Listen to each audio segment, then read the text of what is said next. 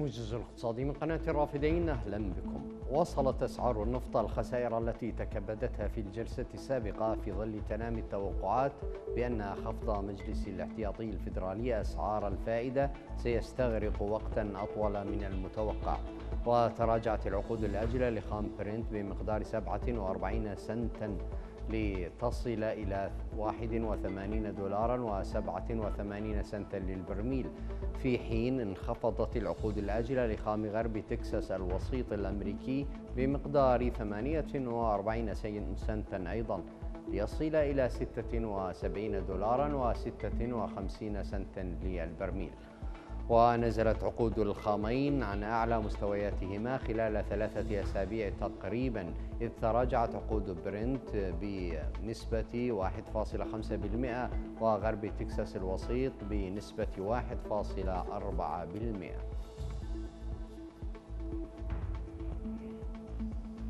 سجلت أسعار الذهب خلال التعاملات المبكرة مكاسب طفيفة مدعومة بضعف الدولار وتصاعد التوترات في الشرق الأوسط.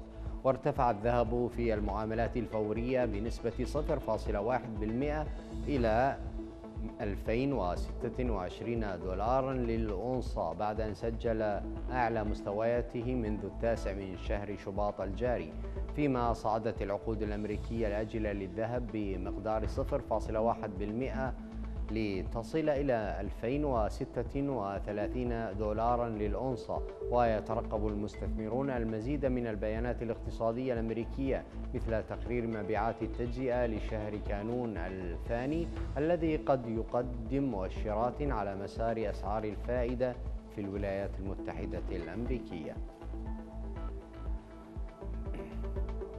قالت المفوضية الأوروبية إن صندوق التعافي والقدرة على الصمود الذي أنشأه الاتحاد الأوروبي عزز النمو الاقتصادي وفرص العمل والاستثمار بالفعل ووصل بهم إلى منتصف الطريق نحو تحقيق هدف خطته. وأوضحت رئيسة المفوضية الأوروبية أورسولا لاين أن الصندوق يواصل دعم التعافي الاقتصادي وتحفيز التغيير الإيجابي في جميع أنحاء الاتحاد الأوروبي. هذا وتأسس الصندوق في عام 2021 ومن المقرر أن ينتهي عمله في عام 2026 ارتفع مؤشر نيكي بمقدار 225 نقطة في بورصة طوكيو باليابان متجاوزا الرقم القياسي الذي سجله عام 1989 قبل انفجار الفقاعة المالية التي دشنت حقبة من النمو المتعثر. وأغلق المؤشر في ختام جلسته عند تسعة أو تسع وثلاثين ألفا وثمان وتسعين نقطة بارتفاع بلغ 2.2% بعدما أدت التقييمات المتدنية وإصلاح الشركات إلى جذب الأموال الأجنبية الباحثة عن بدائل للسوق الصينية المتضررة. وتمكن المؤشر من الوصول في وقت سابق خلال الجلسة إلى 39 ألف 39 ألفا و156 نقطة. متجاوزا أعلى مستويات إغلاق وأعلى مستوى مسجل خلال اليوم على الأطلاق والذي تم تسجيله في التاسع والعشرين من شهر كانون الأول عام 1989